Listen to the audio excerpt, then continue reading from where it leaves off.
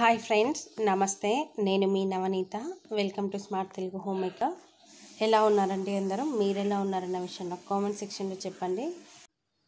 ఇవాళ నేను మీతో ఒక మంచి విషయం షేర్ చేసుకోబోతున్నానండి. అదే అండి ఇప్పుడు వరలక్ష్మి వ్రతం జరుగుతుంది కదా ఆ వరలక్ష్మి వ్రతానికి గాజులతో హారం ఎలా చేసుకోవాలి అన్న విషయం చే చేసి చూపిస్తాను. ఒకవేళ నచ్చితే మీరు ఫాలో అవ్వచ్చు. ఇప్పుడైతే అన్ని ఇంట్లోనే చేసుకుందాము అనుకున్నాం కాబట్టి జ్యువెలరీ కూడా మనం బయట కొనుక్కోకుండా ఇలా బ్యాంగిల్స్తో మనం అమ్మవారికి దండలాగా వేసామంటే చాలా చాలా బాగుంటుంది.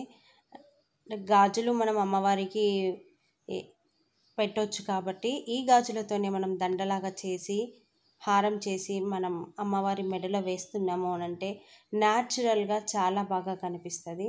ఒక్కసారి ట్రై చేయండి. ముందుగా నేనైతే ఒక లేస్ తీసుకున్నాను. ఈ లేస్ కూడా నేను ఎక్కడి నుంచి తీసుకోలేదండి. నేను నిన్న అమ్మవారి కాళ్ళు చేతులు చేసిన వీడియో చూపించాను కదా. ఆ వీడియోలో కింద సైడ్ వచ్చిన లేస్ ఉంది కదా అది మాత్రం తీసుకున్నాను. మీ దగ్గర ఏ లేస్ ఉన్నా ఆ లేస్తో కూడా మీరు చేసుకోవచ్చు. కొంచెం పెద్దగా ఉంటే లుక్ బాగుంటుంది. అంతే కొంచెం వెడల్పాటిగా ఉంటే బాగుంటుంది. సో ఇప్పుడు నేనేం చేశానంటే ఆ లేస్ని ఒక గాజుకి కా ఒక సైడ్ కుట్టేశాను దారంతో లేదు అంటే ఫెవికాల్తో జాయిన్ చేసుకున్నా సరిపోతుంది. అలా జాయిన్ చేసిన తర్వాత ఈ లేస్ని ఆ గాజులోంచి బయటకు తీయాలి. ఎలా అంటే లేస్ కింద ఉండాలి గాజు పైన ఉండాలి. ఆ రకంగా మనం దీన్ని సెట్ చేసుకోవాలి. సో ఒక గాజు అయితే జాయింట్ అయిపోయింది. ఇంకో గాజుని ఎలా పెట్టాలి అని అంటే మనం బయటకు తీసిన గాజు నుంచి గాజుకి లేస్కి మధ్యలోంచి మనం ఇంకో గాజుని పెట్టుకోవాలి. తర్వాత మనం పెట్టుకున్న తర్వాత పైన రెండు గాజుల మధ్యలో గ్యాప్ వస్తుంది కదా ఆ గ్యాప్లోంచి మనం లేస్ పైనకి తీసుకోవాలి. అండ్ కింద రెండు గాజుల మధ్యలో ఒక గ్యాప్ వస్తుంది. ఆ గ్యాప్లోంచి లేస్ని కిందకి తీసుకోవాలి. అలా తీసుకోవడం వల్ల ఏంటి అని అంటే మనం సెకండ్ పెట్టిన గాజుకి కూడా కింద అనేది మనం ఇంకో గాజు పెట్టుకోవడానికి మనకు ఛాన్స్ ఉంటుంది.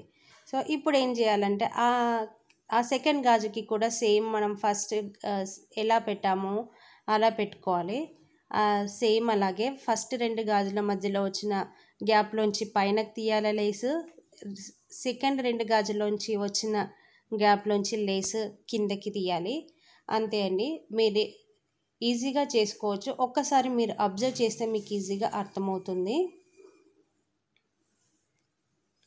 ఇలా చేసిన తర్వాత ఇలా అన్ని గాజులు మనము అడ్జస్ట్ చేసుకుంటూ పోతే మనకి ఫైనల్గా దండ షేప్ అదే వస్తుందండి. మనం ఏ షేప్ కావాలంటే ఆ షేప్ దండ ఈజీగా వచ్చేస్తుంది. మనమైతే ఫస్ట్ ఈ గాజులన్నీ జాయిన్ చేద్దాం ఇదే ప్రాసెస్తో.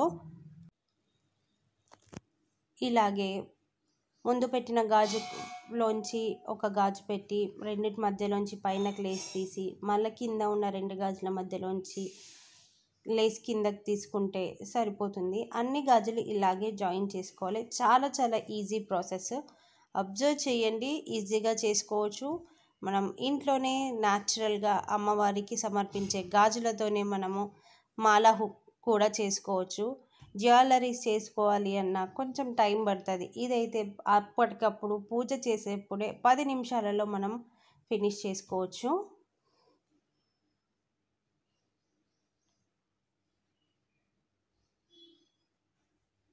ఈ రకంగా మొత్తం మనం అన్ని బ్యాంగిల్స్ని అడ్జస్ట్ చేసిన తర్వాత ఫైనల్గా కూడా మనకి ఎంత లెంత్ కావాలో అంత లెంత్ మనం జాయిన్ చేసుకోవాలి.